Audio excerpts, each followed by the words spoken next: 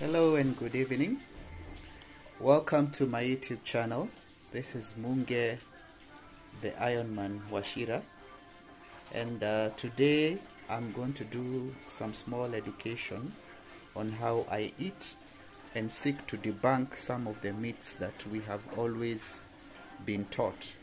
So it's been a tiring day for me. It's been a, it's been quite a long day because I had to go and uh, buy all of these things that you can see here. We have some pork ribs there that are very fatty. You can see the pork ribs that are there.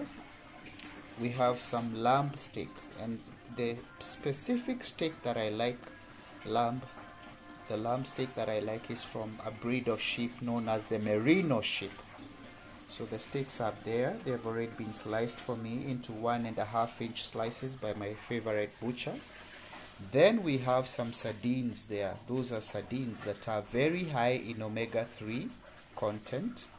Sardines are very high in omega-3 content so they are very very good for uh, our health. They are also high in calcium. And a, a, brother or a sister to the sardines is what we call mackerel. Mackerel is a wonderful kind of a fish that is also high in omega-3 uh, fatty acids which are very very good for our health then at the back there we have some lamb. That is the merino lamb mince which i use to make my burger patties. I usually combine this with eggs yellow yolk eggs and make some lovely burger patties. At the back there we have what we call the pork belly. That is about 4.7 kilograms of pork belly which i shall use to make my home manufactured bacon so I'll be using that pork belly. It's a rack of a pork belly. It's quite long but it is folded in that bag there because it is quite a large slab of pork belly which I'll use to make my bacon. Next to that we have pork liver. I don't know how many people have ever tried pork liver but it is very very sweet. Next to the pork liver we have what we call calamari uh, or squid. That is a kind of a seafood that is very very healthy as well. So I, I do love having a cocktail of meats on my diet and my diet is called the carnivore diet. So there we have the squid or the calamari as we call it in the coast in Kenya. That was the pork liver. Then at the back there we have what we call prawns. So we have some prawns that are already peeled and uh, these are wonderful uh, accompaniment to my carnivore diet meal. Usually i would weigh about 85 to 90 grams serving of prawns and have that on my plate. Next to the prawns we have what we call salmon. Uh, this uh, salmon has its skin on. It's very very sweet when you do it properly. If you cook it properly with the skin on it tastes very very sweet. Then next to that we have what are known as the lamb bones. These are bones that i shall use to make my soup. Then of course uh, next to that uh, uh, so these bones i shall boil them and, and uh, make my lovely bone broth. I shall not do any additional any additives no herbs. I shall only put some salt in that. And then next to that up here we have our eggs. I have 30 eggs there that i shall use for my carnivore diet uh, throughout the month. And then we have more eggs there. So 30 plus about 18 48 i usually do about 7 to 8 eggs in a day. So we can calculate how long uh, these these are 18 plus 30 how long 48 eggs will last me if i'm doing 7 to 8 eggs per day? If i do 7 per day and i buy one more that's 49 eggs. That means i would consume them within say uh, how long? Say about uh, 7 times 7 that's about 7 days so that's roughly a week. So yes that's my carnivore diet uh, um, uh, whole that is what I was able to acquire today. In addition to that if you look at the back there I have some fats. These are saturated fats. On the left we have the merino. That is the lamb I, I, I usually get some uh, lamb fat trimmings and render that into cooking oil. And then on the right there we have pork lard which I also use for my cooking. Okay. So I do not believe the myth that we have been taught that saturated fats are bad for us. Everywhere you go in Kenya, people say, oh no, don't take animal fats because they are not good for you. They are actually good for us because this is what our grandparents used to use. They used to eat a lot of animal fats. They used to eat all these kind of foods that you are seeing on top of my cooker. And they never died early like we have people dying early today because of all manner of diseases. You see all manner of cardiovascular, diabetes, and hypertension, this kind of metabolic syndrome illnesses, autoimmune conditions. We are also having people suffering from cancers that are food, that are diet related. Today I was advising people who are asking me why I don't wear sunscreen lotion when I'm doing my long walks to Maragua and Murang'a and Sabasaba. And I said I don't need that because I'm on the carnivore diet and this protects my skin because my skin has been rejuvenated. If you look at my skin, my skin looks very much uh, better than when I was 39 or 40 years and right now I'm 46. So here what we have, we have uh, these are this is pork skin and also pork fat trimmings that I'm going to use. The skin I'll use to make something we call shakarons. Those are carnivore diet snacks. And then next to the skin is pork fat. Pork fat, I shall use the trimmings from that pork fat to render into cooking oil. I do use animal oils for my food. I cook with animal oils. I don't buy Rina, I don't buy Fresh Fri, I don't buy any cooking oils from the supermarket. I don't even buy olive oil. I only use animal oil such as ghee, and then if I have to use additional fats, I use butter as well. So, yes, this is my carnivore diet. Uh, welcome to my carnivore diet plan. So, this is what I would normally prepare. You know what i would do is maybe like if it's a, it's a, it's it's on a monday i can do like one sardine. I can pick a sardine from here and then i can do a few uh, ribs. I can do some uh, some nice uh, juicy pork ribs.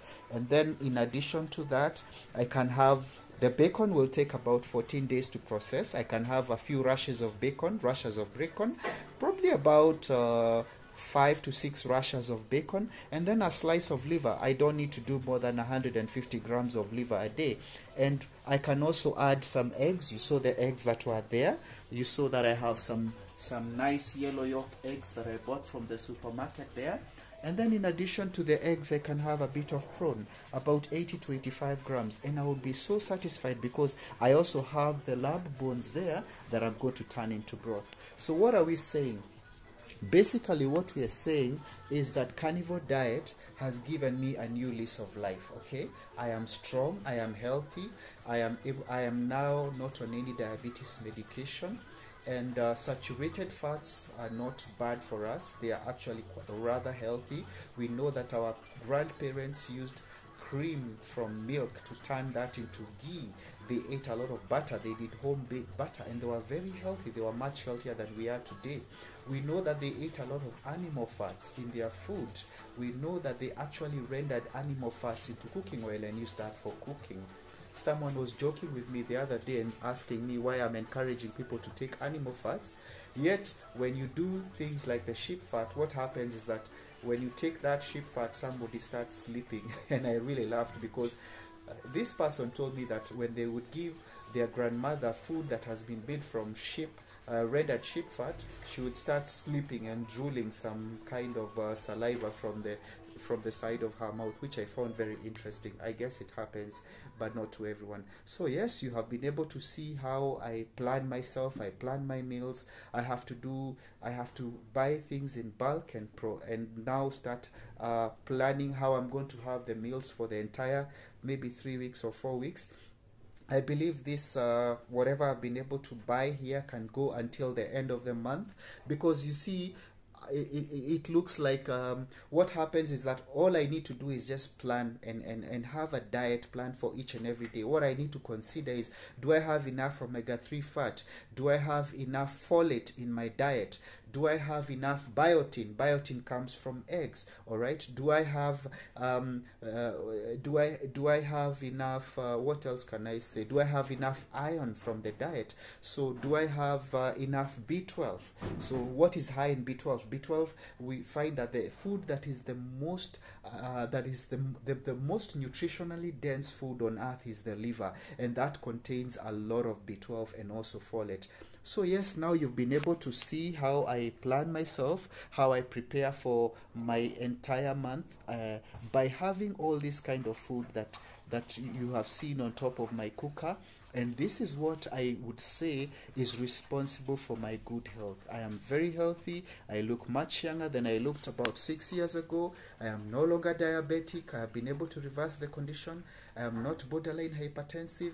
You saw on my YouTube channel that I was able to walk okay 51.17 kilometers from my house where i'm recording this video from. I left the house at 410 and i reached sabasaba at 2:37 p.m so i was able to walk for around 8 hours and 58 minutes, uh, an average of 10, uh, 10 minutes and 32 seconds per kilometer because of the strength of the diet. The diet is giving me a lot of strength and has also healed my body. So my body is in good condition, my body is doing very well. If you want to learn more about the carnivore diet and the do's and the don'ts of the diet, I would I would urge you to reach out to me, uh, Munge Ironman Washira. That is me on on on YouTube, Munge Ironman Washira. My number is 0700 uh, triple zero seven nine seven. That is zero seven double zero triple zero seven nine zero. Reach out. Uh, sorry, zero seven zero zero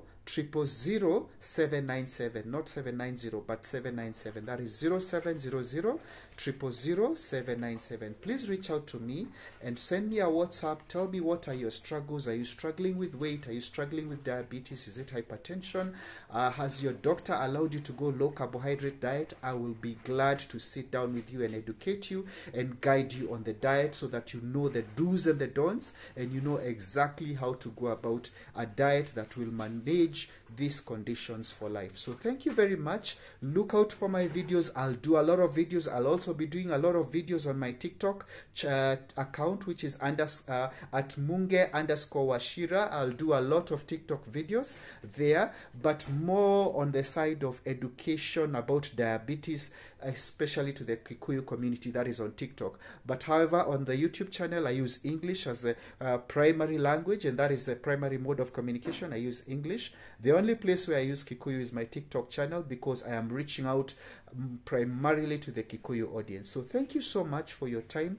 I pray that you uh, you you subscribe to my channel and. Uh, let your friends also subscribe to my channel. I'll not be focusing on sharing any more content on Facebook or Instagram. I am going to be more on YouTube and also uh, the, the the TikTok. So you need to follow me. Kindly follow me, Munge Ironman wachira My number is 0700 and also follow me on TikTok uh, at Munge underscore wachira so that you can learn more about diabetes and how to manage the condition and also how to manage obesity. So have a nice evening and look out for more of my videos as from to uh, even as from now you can also go through all of them that are there that i have already posted but many more will be coming on my channel so thank you so much and enjoy your evening